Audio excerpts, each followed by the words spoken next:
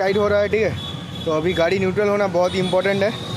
And R one five का chain लगभग twenty five thousand kilometre चल चुका है, फिर भी मैं चला रहा हूँ। एक वीडियो है कि कैसे मैं ट्वेंटी फाइव थाउज़ेंड चलाया हूँ उसके ऊपर।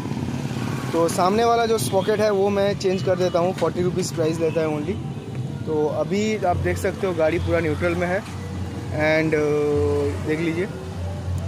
तो ये मेन जो टाई रॉड का जो बोल्ट रहता है, उसको आप लूज़ करना पड़ेगा। एंड देन ये जो एडजस्टिंग स्क्रू रहता है, उसको आपको एडजस्ट करना पड़ेगा प्रॉपरली दोनों साइड में सेम सेम तो बाजी भाई का गैरेज में आया हूँ, खड़गपुर में। विज़िट कर सकते हो, ये देख सकते हो आप। इसको खोल के हम लोग चेन को एडजस्ट कर सकते हैं। बाद में इसको टाइट करना पड़ता है, ठीक है? क्या हो गया? उठाओ क्या पीछे वाला चक्का? चलिए। इसका तो फुल स्टैंड नहीं है, इसको ऐसे उठाना पड़ता है। तो अभी हो जाएगा थोड़ी देर बाद।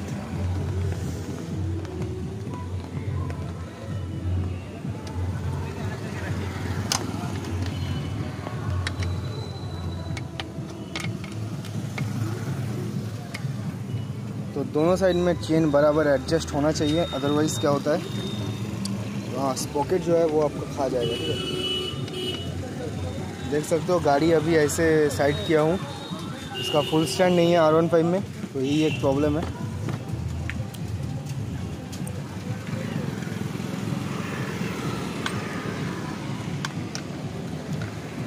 तो बाजी भाई का नंबर नीचे रहेगा। खड़गपुर में आप हो आसपास तो इधर ज़रूर विज़िट कीजिए। बहुत बढ़िया गैरेज है।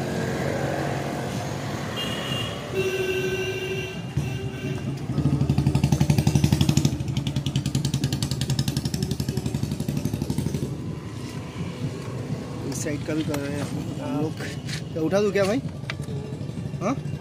थोड़ा ओके